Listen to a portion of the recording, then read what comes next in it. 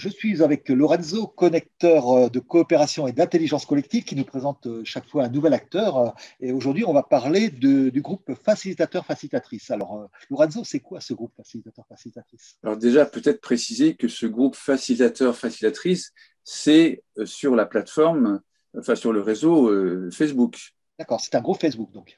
C'est un groupe Facebook, voilà, qui rassemble aujourd'hui 56 000 personnes qui sont inscrites en tout cas, euh, qui existe maintenant depuis cinq ou six ans également, avec cette idée euh, que nous avons eue avec Nicolas Danuti de euh, faire en sorte que tous les différents acteurs qui sont en relation avec la facilitation, aussi bien la facilitation cognitive, on va dire cérébrale, de même que ceux qui sont plus dans la dimension du senso ou dans la relation de tout ce qui touche à, à l'émotionnel, voire même bien entendu avec tous ceux qui sont dans le graphisme, puissent se retrouver sur un espace qui permette de dialoguer et de voir effectivement quelles sont les opportunités de pouvoir mutualiser leur euh, savoir-faire et leur savoir-être.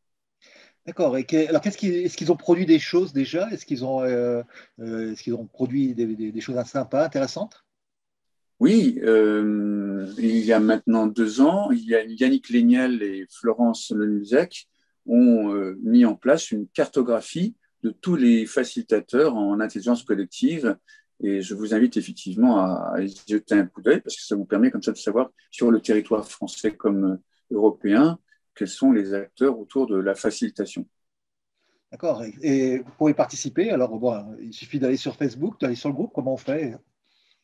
Oui, enfin bon, pour Facebook, il suffit simplement de demander d'être invité et puis euh, ça nous permet de cette façon-là de pouvoir un peu tout, quels sont tous les échanges qui sont très riches. Enfin, c'est le, retour que l'on a, c'est très vivant comme euh, groupe. Euh, c'est un peu normal, on va dire, hein, puisque ce sont des, gens qui sont en intelligence collective. Et voilà. D'accord, bah écoute, euh, merci beaucoup Lorenzo et rendez-vous là pour la prochaine fois pour un nouvel acteur. À bientôt.